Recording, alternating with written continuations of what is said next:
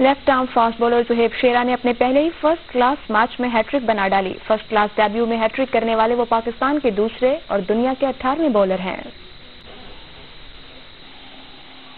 National bank sports complex پر Quaid Azam trophy کے دسویں راؤنڈ میں کراچی وائٹس کے انیس سالہ فاسٹ بولر زہیب شیرا نے مضبوط نیشنل بینک ٹیم کے ٹاپ آرڈر بیٹسمینوں کو آؤٹ کر کے ڈیبیو پر ہیٹرک کا کارنامہ انجام دیا۔ فرسٹ کلاس کرکٹ کے پہلے میچ میں ہیٹرک کرنے والے وہ دوسرے پاکستانی بالر ہیں۔ اس سے پہلے ارشد خان نے یہ کارنامہ انجام دیا تھا۔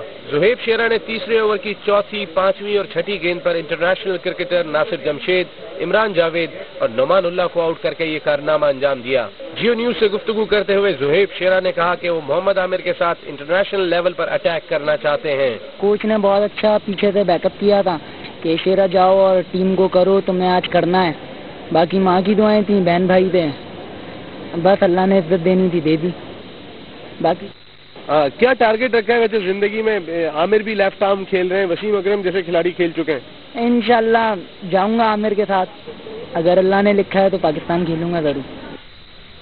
زہیب شیرا اپنے خیالات کا اظہار کر رہے تھے اور بہت اچھا عزم انہوں نے ظاہر کیا ہے۔